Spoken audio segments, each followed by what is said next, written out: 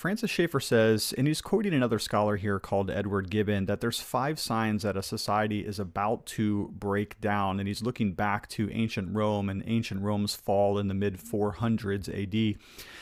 Here are the five signs a mounting love of show and luxury that is affluence. Francis Schaeffer does not think very kindly of the idea of affluence, he thinks that's a danger. Secondly, a widening gap between the very rich and the very poor. Ask yourself if you may be seeing that today. Is it impossible to get ahead, especially for the middle class? Third, an obsession with sex and sexuality. I don't think there's any argument whatsoever that our nation is deluged with um, great amounts of perversion.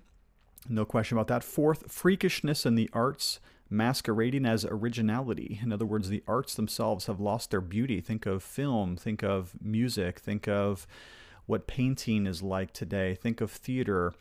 Are these things